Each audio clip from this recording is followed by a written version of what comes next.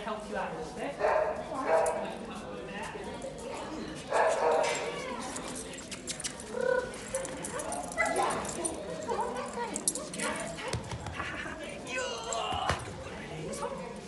Yes, nice, clever.